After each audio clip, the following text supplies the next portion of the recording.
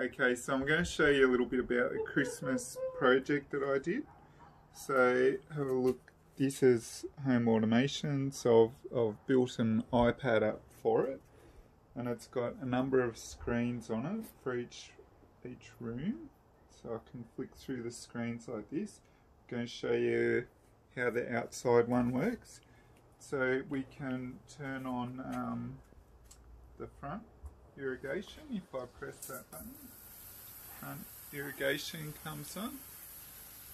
We can do, say, the lights out the front. Um, there's the front lights. Did you see that? Okay. Okay, now we're in the living room, so I'm going to press the living room button and we've got scenes down here. So I'm going to press the dining scene you can see that the lights come on at different brightnesses and the lamps. And then I can turn things off separately through here. And this is where the home automation controller is. So have a look in here. So this is the automation controller. And this is all the network stuff. And, and it goes through the wireless network so this is what I'm replacing. So we put this in, it's a touch screen about um, 17 years ago.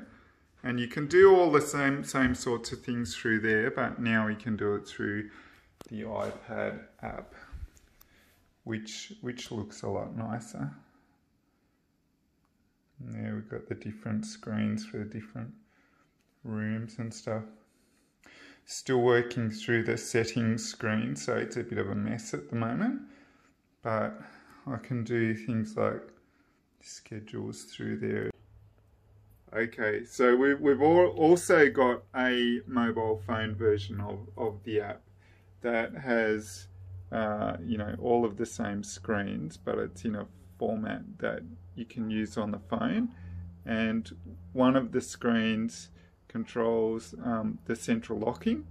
So what we can do on this is you can see the door's locked at the moment, but if we press this button, it, it unlocks it. And it's this latch here, just have a look at the latch.